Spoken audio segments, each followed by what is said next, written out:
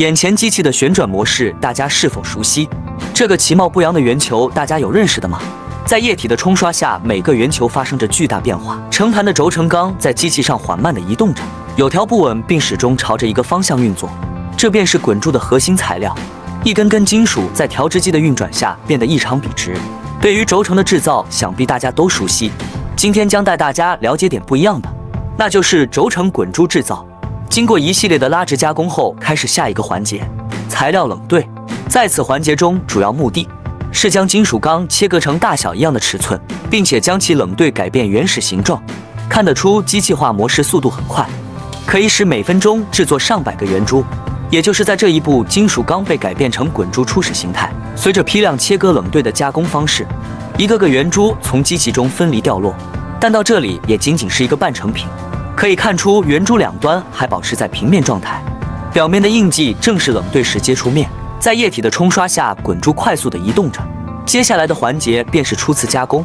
机器是以一进一出的方向运作，右侧是半成品圆珠进去的方向，左侧则为初次加工后的出口。眼前的机器则用于加工滚珠。机器两侧接触面分别留有一条条凹面，大家有没有发现不同之处？两端的接触面的颜色不同以及运作方式。下面让我们详细了解机器运作方式。通过视频可以看出，随着机器闭合，位于凹槽处的圆球也在旋转移动。由于紧闭贴合，所以滚珠会在机器内全方位抛光研磨。通过眼前的演示图可以看得更为详细。在机器内是呈旋转推进方式前进，一边移动一边旋转研磨。机器旋转带动滚珠移动。在接下来的画面中，大家可以看得更为仔细。两侧圆盘旋转移动研磨内部滚珠。随着研磨完成，一粒粒滚珠从中分离，可以看得出，相比之前半成品色泽更加明亮，表面整体光亮度更高了。这一点在半成品与成品对比图中很容易发现。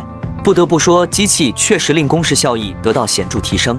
每分钟成百上千的滚珠被机器高速加工完成，一粒粒光亮的金属被制作成为轴承，发往世界各地，成为机器中不可或缺的一份子。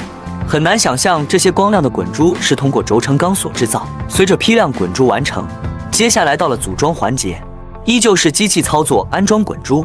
首先映入眼前的是轴承外圈，与手工安装类似，也是同样的操作方法，将一端使用机器加紧固定住，之后通过机器依次投入滚珠，在放入一定数量的滚珠之后，接下来就是整个环节的精彩之处了。大家可以仔细观看。